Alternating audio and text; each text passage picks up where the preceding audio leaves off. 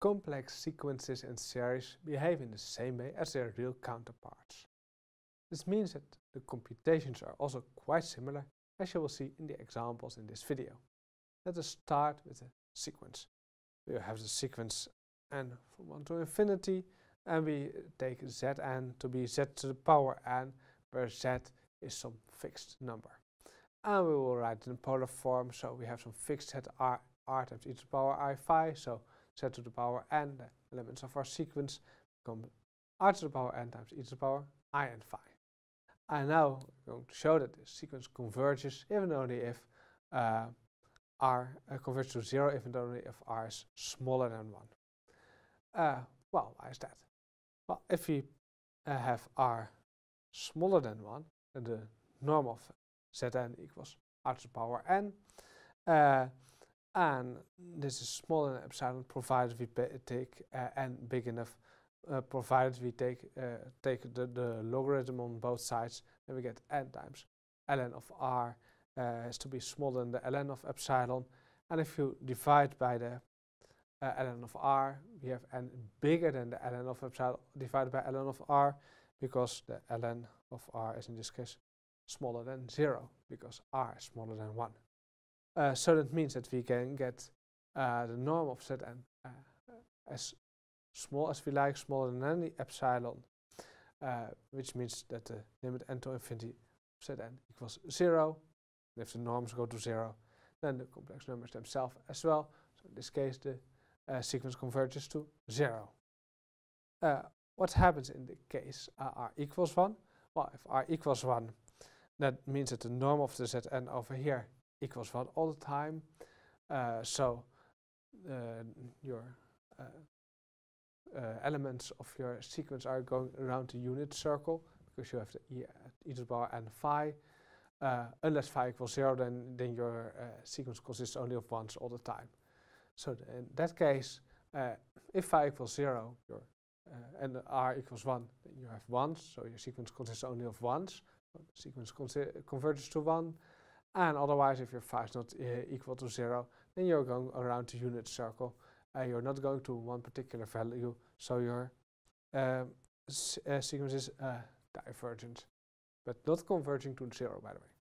And uh, second, uh, sorry, third, the last one, if r is bigger than 1, then your, your the norm of your Zn equals r to the power n again, and you can get it bigger than any L, because if you take now the again the natural log on both sides, then you get n times the ln of r uh, uh, bigger than uh, the ln of L, or if you pick n bigger than the ln of L divided by ln of R, and now the inequality sign does not change because the ln of R is bigger than 0. So if you divide by it, the bigger than uh, uh, remains the bigger than sign. And this is because your R is bigger than 1. So in this case, you can get your the norms of your uh, sequence as big as you like. So uh, if n goes to infinity, the norms go to infinity of the, uh, which means that the complex numbers go to infinity as well.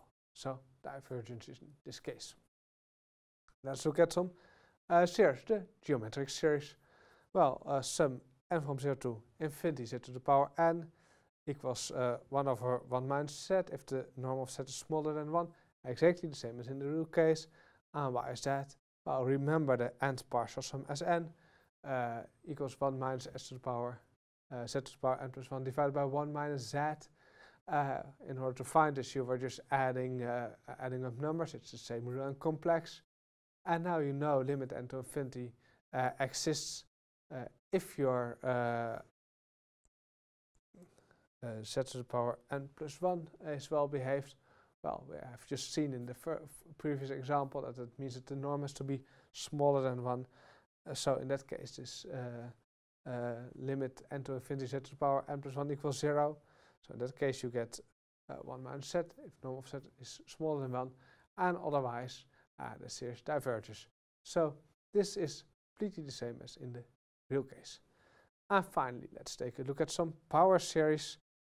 Uh, now we have uh, z to the power n over there. The z is the only complex part here because the n factorial and n to the power n are just uh, uh, real numbers. So what happens to our power series when does it converge? Well, we can use the same techniques as for real numbers, so we can use the ratio test. It looks a bit awkward with our an over here, but it's not too bad as you will see. Uh, an plus 1 over an, well that becomes a big mess at first. Here we have our an and uh, our an plus 1 and we just plug in n plus 1 everywhere, so an n plus 1 factorial, n plus 1 to the power n plus 1 and then z to the power n plus 1. Uh, but then we will can cancel out a lot. Uh, z to the power n plus 1 divided by z to the power n yields a z. And n plus 1 factorial over n factorial, n plus 1 factorial equals n plus 1 times n factorial yields uh, n plus 1. And we are left with uh, an n plus 1 to the power n plus 1. So that's n plus 1 to the power n times n plus 1. And here this n to the power n comes in the numerator. And then we have to take the limit n to infinity of normal uh, uh, an plus 1 over an. So you see those cancel out here. We have a norm of z and we have an n to the power n of n plus 1 to the power n. Uh, we can write that as n plus 1 over n uh, to the power minus 1 to the power n. And why do we do that? Then we uh, recognize a 1 plus 1 over n to the power n, limit n to infinity, and that's just the Euler number to the power minus 1 equals uh, 1 over e. So this limit becomes a norm of z over e converges if ratio test if it's smaller than 1. So it's absolutely convergent if the norm of z is smaller than the Euler number. So you see, if you have a power series of complex numbers, you can just use the ratio test. So uh, power series uh, complex numbers, well, they go the same way as the power series from the uh, real numbers, as you have already seen in your single variable course.